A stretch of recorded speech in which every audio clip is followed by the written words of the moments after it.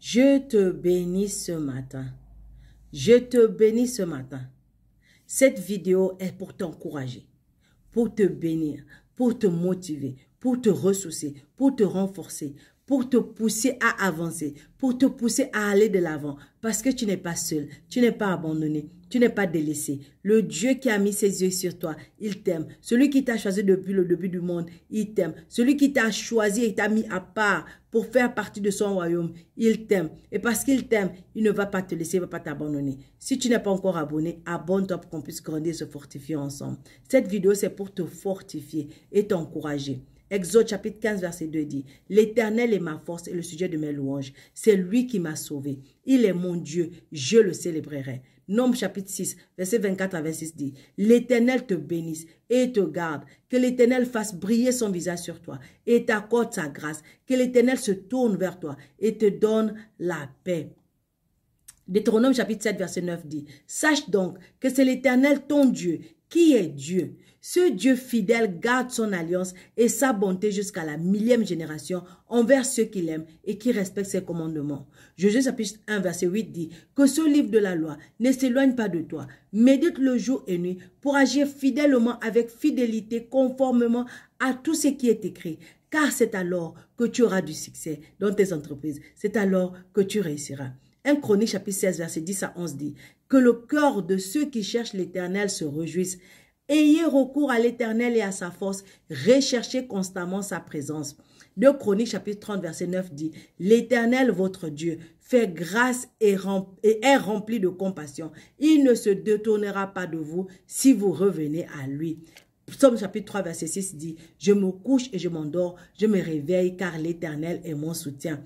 Psaume chapitre 4, verset 8 dit, Je me couche et aussitôt je m'endors en paix, car c'est toi seul, éternel, qui me donne la sécurité dans ma demeure.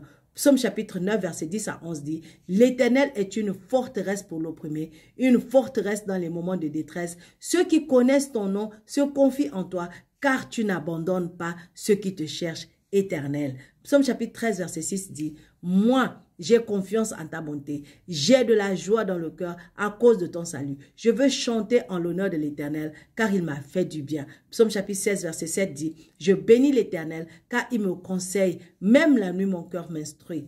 Psaume chapitre 19, verset 2 dit, Le ciel raconte la gloire de Dieu, et l'étendue révèle l'œuvre de ses mains. Psaume chapitre 23, verset 1 à 2 dit, L'Éternel est mon berger, je ne manquerai de rien. Il me fait, il me fait prendre du repos. Psaume chapitre 27, verset 1 dit, L'Éternel est ma lumière et mon salut. De qui aurais-je peur? L'Éternel est le soutien de ma vie. Qui devrais-je redouter? Psaume chapitre 27, verset 14 dit, Espère en l'Éternel, fortifie-toi et que ton cœur s'affermisse. Espère en l'Éternel. Psaume chapitre 28, verset 7 dit, L'Éternel est ma force et mon bouclier. C'est en lui que mon cœur se confie et je suis secouru.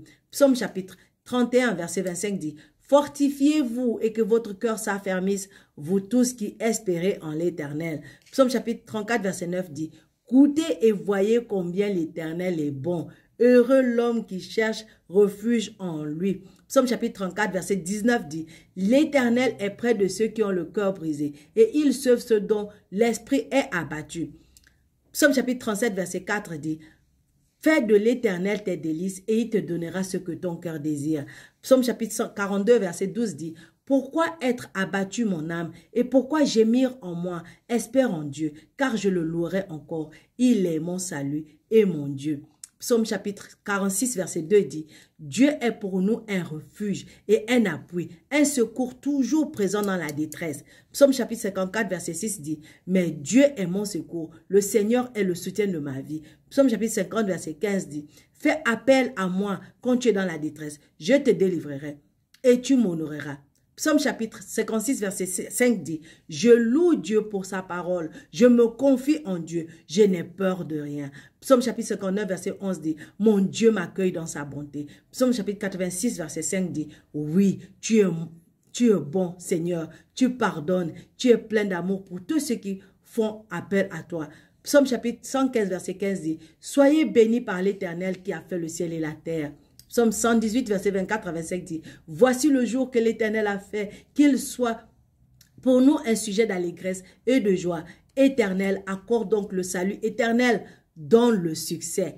Psaume chapitre 124, verset 8 dit, Notre secours est dans le nom de l'Éternel qui a fait le ciel et la terre. Psaume 30, euh, Proverbe chapitre 3, verset 5 à 6 dit, Confie-toi à l'Éternel de tout ton cœur et ne t'appuie pas sur ton intelligence. Reconnais-le dans toutes tes voies et il rendra tes sentiers droits. Proverbe chapitre 15, verset 33 dit, La crainte de l'Éternel enseigne la sagesse et l'humilité précède la gloire. Proverbe chapitre 22, verset 4 dit, Le fruit de l'humilité de la crainte de l'Éternel, c'est la richesse, la gloire et la vie. Isaïe chapitre 30 verset 15 dit, c'est dans le retour à moi et le repos que sera votre salut. C'est dans le calme et la confiance que sera votre force. Isaïe chapitre 41 verset 13 dit, en effet, c'est moi l'Éternel ton Dieu qui empoigne ta main droite et qui te dit, n'aie pas peur, je viens moi-même à ton secours. Isaïe chapitre 43 verset 5 dit, n'aie pas peur car je suis moi-même avec toi. Jérémie, Jérémie chapitre 31 verset 3 dit, de loin l'Éternel s'est montré à moi. Je t'aime d'un amour éternel. C'est pourquoi je te conserve ma bonté.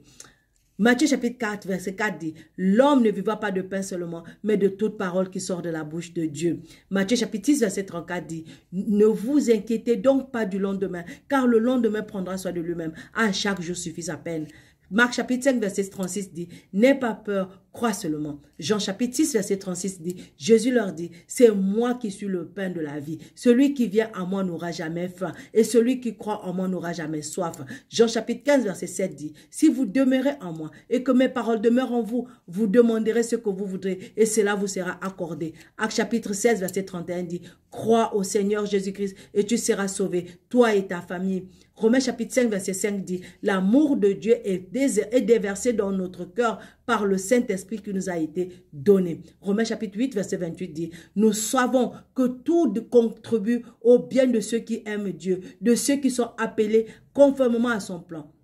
Romains chapitre 8, verset 38 à 39 dit, J'ai l'assurance que ni la mort, ni la vie, ni les anges, ni les dominations, ni le, ni le présent, ni l'avenir, ni les puissances, ni la hauteur, ni la profondeur, ni aucune autre créature ne pourra nous séparer de l'amour de Dieu manifesté en Jésus-Christ notre Seigneur.